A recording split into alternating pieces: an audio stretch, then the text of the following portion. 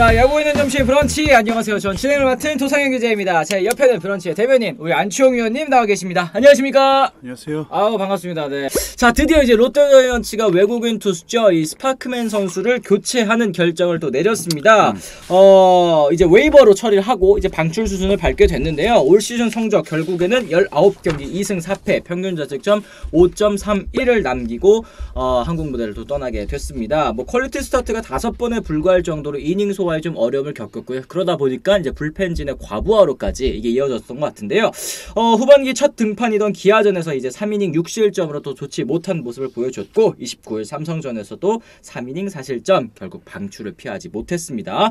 어 롯데자이언츠 지금 이제 이 스파크맨 선수를 방출하면서 이 서튼 감독이 얘기한 거 이제 포스트 시즌을 가기 위한 결정이다라고 이제 얘기를 했습니다. 선발 투수 로테이션의 변화가 필요하다고 판단했고 이른 시일 안에 대체 외국인 선수를 또 발표할 예정이라고 또 얘기를 했습니다. 이 스파크맨 선수 뭐 주요 업적 보니까 뭐 제로퀵 있죠. 이 아웃 카운트 못 잡고 6실점 그리고 24일 기아전 이제 23대 0 참사 당시에 또 이제 선발 투수가 바로 이제 스파크맨 선수였는데 어 스파크맨 선수에 대한 방출 이유 어 포스트 시즌 진출 포기하지 않았고 어 선발 투수 로테이션에 변화가 필요하다고 판단했다. 지금 이제 뒤에 나오고 있죠. 어떻게 생각하십니까, 위원님? 지금 좀 너무 늦은 거 아닐까요? 롯데 팬들 입장 저 어이가 없지 않나요? 음. 어이가 없지 않나 진짜? 이제 포스트 시즌을 위한 뭐 결정? 어, 그니까요. 지금 이제 8월인데 이제 8월인데. 만화책을 많이 보나? 롯데 감독은 음.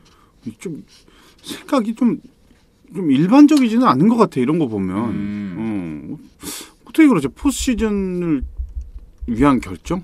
나는 진짜 저거는 이건 핑계도 아닌 것 같고 지금 아니면 언론을 가지고 장난을 치나 언론사를 음. 상대로 나는 이 한국 야구를 좀 좀 우습게 보나? 나는 이런 생각? 말도 안 되잖아. 무슨 뭐 이- 이게 이게 핑계야. 이걸 이게 팬들이 이게 이해가 되겠어. 아, 그렇습니다. 그거는 아니잖아요 지금. 지금 이제 롯데 자이언츠가 23.5경기 차고 또 지금 기아 타이거즈 16경기 차니까 하면 이제 7.5게임 차거든요. 이제 5위까지. 좀 격차가 많이 벌어진 상황이기는 한데 그렇다고 해서 뭐 지금 스파크맨 선수 이미 좀 어, 남은 시즌 더 반등이 어렵다고 판단한 이상 또 새로운 외국인 선수를 데려오겠다. 뭐 후반기 포기하지 않았다. 뭐 요 정도의 의미로는 받아들일 수 있겠지만 지금 이 7.5경기 차 요거를 이제 뒤집기가 가능할까요? 지금 새로운 외국인이 해도 물론 뭐 가능 불가능한 수치는 아니죠. 음. 수치는 뭐 언제든지 가능은 하긴 할 텐데 음. 가능성이 희박하지. 아 그렇습니다. 핑계로 성공한 사람은 대한민국의 김건모뿐입니다. MJJ 이님께서도 얘기를 하셨는데 지금 또 너무 교체 타이밍이 늦은 게 아니냐라는 얘기들이 이제 채팅창에도 많이 나오고 있습니다. 위원님이 생각하시는 스파크맨 선수의 적절한 교체 타이밍 언제였다고 생각하시나요? 저는 올스타전 전이죠. 원래 스, 음. 예, 스파크맨은 올스타전 전부터 계속 부진했었고, 음. 어 근데 일단은 뭐 좀 기다려 봐야 된다. 물론 이제 대체 선수를 뽑는데도 시간이 좀 오래 걸리고 네. 지금은 뭐 현지 사정이 음, 음. 코로나 때문에 사실은 굉장히 어려워요. 그렇죠. 네, 어렵고 또 괜찮은 선수들도 어, 이적을 안 하려고 하는 것도 있고 물론 어려움이 있었지만 음. 너무 너무 늦었어. 너무. 음. 그리고 그냥 더 더는 못 기다려 준다. 어, 차라리 국내 선수를 키우겠다. 이러면은 이해가 되겠어. 음. 포스 시즌을 위한 선택으로 스파크맨 인재 교체한다고 하니 그게 이해가 안 되고 참 여기 맞네요. 뭐 이대호 우승 옵션 이후로 두 번째로 진짜 터지는 빵 얘기라고 터지는 그렇게. 얘기다. 음, 네 맞아요. 이것도 있지. 또 뭐. 이제와 바꿔봤자 뭐, 뭐 5월에 바꿨어야지 뭐 이런 얘기 하려면 올스타 브레이크 때나 했었어야지. 음. 그러니까 지금 이 8월이 된 시점에서 이제 대체 외국인 선수를 데려온다라는 건 이제 KBO 리그에 대한 뭐 적응도 또 좀 필요할 것이고 음. 또 이제 절차적인 문제까지 해결을 한다면 아무리 빨라도 뭐 8월 둘째 주 뭐 요 정도가 되어야지만 이제 합류가 될 것 같은 그런 분위기인데 그랬을 때는 뭐 돈은 돈대로 나가고 또 선수가 또 적응하는 데에는 좀 시간이 좀 걸리지 않을까 이런 걱정이 물론 되긴 뭐 합니다. 내년 시즌을 생각을 해서 올해 뭐 예를 들어 8월 둘째 주, 셋째 주에 합류한다면 음. 약한 40경기 정도 남겠죠. 네. 대충. 음. 그럼 몇 번을 등판? 한 7번, 8번 정도 음, 등판을 한다고 하면 뭐 내년에 괜- 그 시기에 괜찮다고 하면 내년도 이제 생각해 볼 수 있는 뭐 그것도 있지만 앞서도 제가 말씀드렸지만 포스트 시즌을 가기 위한 선택. 이건 진짜 진짜 나는 아닌 것 같아. 이런 이유를 얘기하는 거는 좀 약간 기만이다. 뭐 이렇게까지 음, 생각하시는 나는 것 저는. 그러니까 그건 제 개인적인 생각이에요. 음, 뭐 네. 팬들의 생각은 또 어떻게 생각하실지는 모르겠지만 사실 롯데가 저도 참 롯데 정말 좋아하거든. 음. 예, 롯데 정말 좋아하는 팀 중에 하나인데 이런 행동들이 참 나를 진짜 막 화나게 해. 음. 예전에도 언제야 그 누구지 김 김태군 선수였나 이지영 네. 선수였나 그 48시간 안에 답 달라고 네. 김태군 선수. 어. 네. 지금 어디 그분은 어디 계셔 지금? 음. 음. 지금 뭐돈돈 비용 정감 운운하던 성단장 돈 아꼈다 언플 그렇게 하더니 모기업 입장에선 좋겠죠 쓰잘데없는 돈 줄이니 또 이런 얘기까지 해주셨는데 결과적으로는 지금 올 시즌에 시작할 때 데려왔었던 외국인 선수들 셋 중에 결국에는 이제 반즈 선수만 남고 음. 또두 명은 또 교체가 됐습니다 음. 외국인 선수의 뭐 성공과 실패를 예측하기 정말 어렵기는 하지만 음. 지금 시점이 좀 다소 늦었다는 부분이 롯데 팬분들 입장 에서는 답답한 게 아닐까라는 음. 생각이 좀 드는 것 같고 어 그래도 KBO 리그 적응 시간이 필요 없으니 스트레일리 나쁘지 않은 선택이라 봅니다. 야옹이님 얘기하셨어요. 이제 어제 음. 이제 데니얼 김 위원님 방송에서 이제 대체 외국인 선수로 뭐 스트레일리가 들어온다 뭐라는 이제 얘기가 좀 나왔었던 것 같습니다. 그러다 보니까 이제 기대를 하시는 것 같은데 만약에 이 스트레일리 선수 같은 경우에는 뭐 어쨌든 KBO 리그 뭐 적응이라든지 이런 거는 필요 없는 그런 상황이잖아요. 뭐 시차 적응 뭐 이런 건 필요하겠지만 음. 지금 스트레일리 선수가 와서 잘 던진다고 하면 반전이 좀 가능할까요? 롯데자이언츠? 아, 그러니까 그게 너무 늦었다는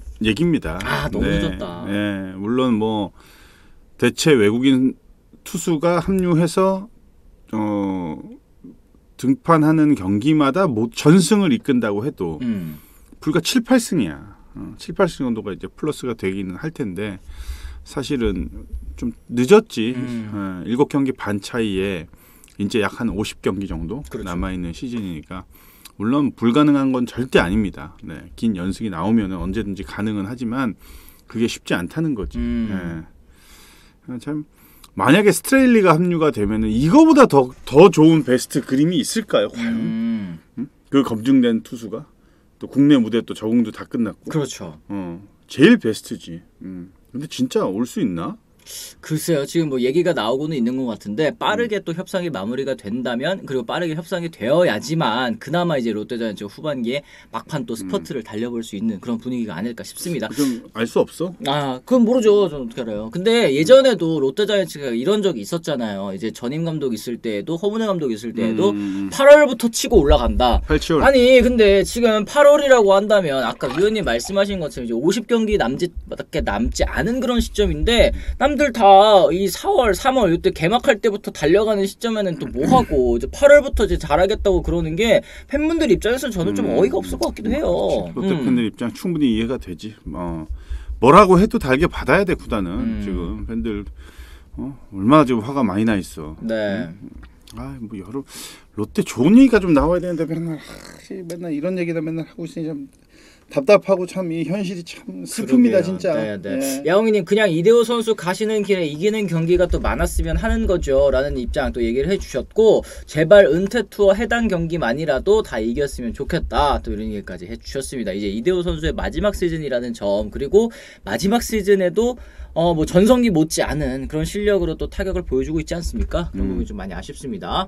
어 롯데 팬분들 성민규 단장이 있는 한 포수 FA를 기대 안 하는 게 좋을 것 같네요. 단장이 맨날 포수 육성한다고 하니 FA 포수 좀 샀으면 좋겠다. 러버스님 얘기했어요. 그러니까 그동안 이제 영입을 안 하고 계속 쭉 육성으로 간다고 하다가 이제 와서 포수를 FA로 영입하면 그동안의 선택에 또 실패했다는 걸 또 인정하는 꼴이 되는 거잖아요. 아니 그거 내세울 게 아니라니까. 음. 자기 살 길 찾아가려고 지금 뭐 그 구멍 찾고 있는 건데 그게 말이 돼? 음. 지금 올해 누구 나와? 박동원 나오지. 음. 유강남 나오지. 아니 그러니까 진짜 엄청 이, 이건 말도 안 왔어요. 되는 오버페이다라고 할 정도로. 진짜 해야 돼. 네. 어 해야 된다니까 지금. 아 냉정하게 지금 안 되잖아. 그러게요. 응? 네네. 포수 한 명, 뭐 지시환 선수, 뭐 입스 포수가 야구 선수 입스 오면은 야, 이건 진짜 우리가 진짜 냉정하게 끝이야 음. 끝 진짜로 이거는 이게 회복이 안돼 입스는. 그렇습니다. 그러니까 어, 지시환 선수도 힘들어.